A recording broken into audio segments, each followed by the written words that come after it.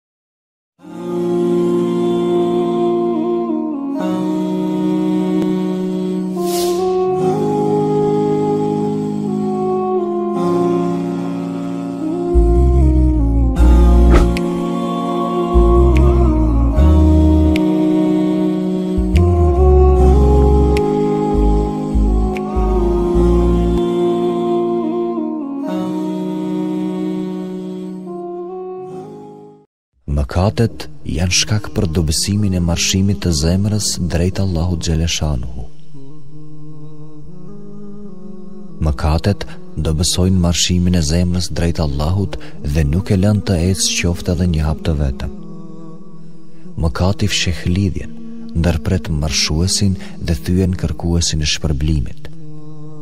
Zemra ecën drejt Allahut me forcën e saj, Po nëse sëmuret me mëkate, kjo forcë dobësohet, e nëse shuhet, shkëputet prej Allahut.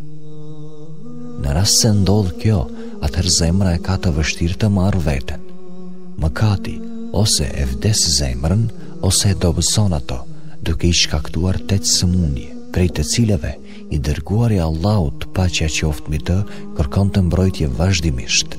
Ato janë: stresi, dëshpërimi, paaftësia, dembelizmi, frika, kopracia, borxhi dhe ashpërsia e njerëzve.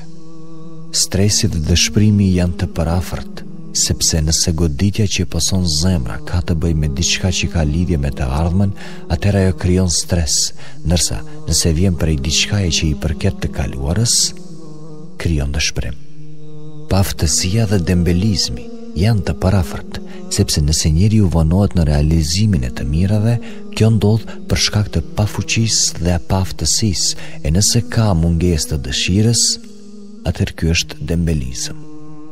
Frika dhe kopracia janë të përafërta me njëra-tjetrën, sepse nëse mungesa e dobisë vjen prej trupit të njeriut, atëherë kjo është frikë, e nëse vjen prej pasurisë së tij, kjo është kopraci.